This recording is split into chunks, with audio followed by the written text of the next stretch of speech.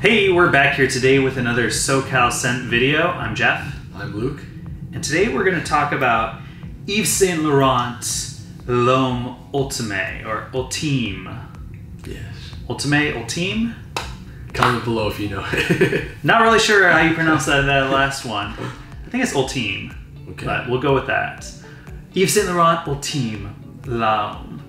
Now, what I love about this fragrance, beautiful sprayer.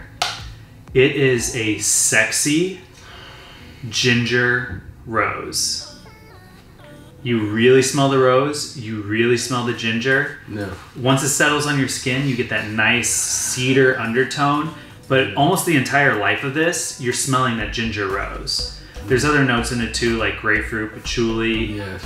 but realistically speaking, ginger. Ginger so rose. yeah, it's a nice citrusy explosion on off of first first smell, but yeah, I mean that ginger just cuts.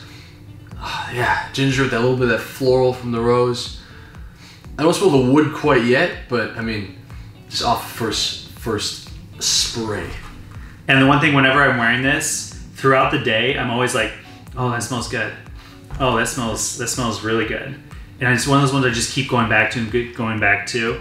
It's a very classy fragrance that I feel you can wear all the time in many occasions, but dressed up, I think this is like it's gonna really shine. If you're in a suit and tie, Yeah, you it smells classy. definitely. It's a rose scent that's masculine because of the ginger. A lot of times with rose, it's like very like grandma or uh, feminine. This to me isn't very feminine, yeah. but it's nice and smooth. And I highly recommend this one. All season, anytime.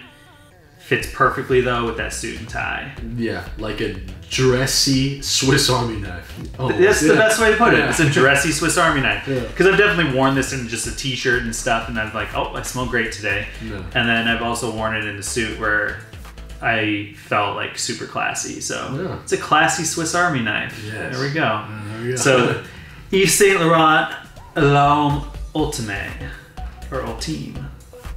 We'll figure it out eventually. cool. Be sure to subscribe, like this video, and if you're not already, follow us on our social media right here listed. Um, yeah, we read all your comments, so be sure to you know talk to us, comment suggestions, let us know your opinion on Ultimate, and yeah, I mean, anything. That- that's it. Yeah. Uh, follow Luke on Spotify. yes. He makes music, Make good music. music. Thank you. Thank you. Yes. And uh, that's about it. And uh, if you want us to smell anything particular and rate it, review it, just let us know. cool. All Thank right, you. guys.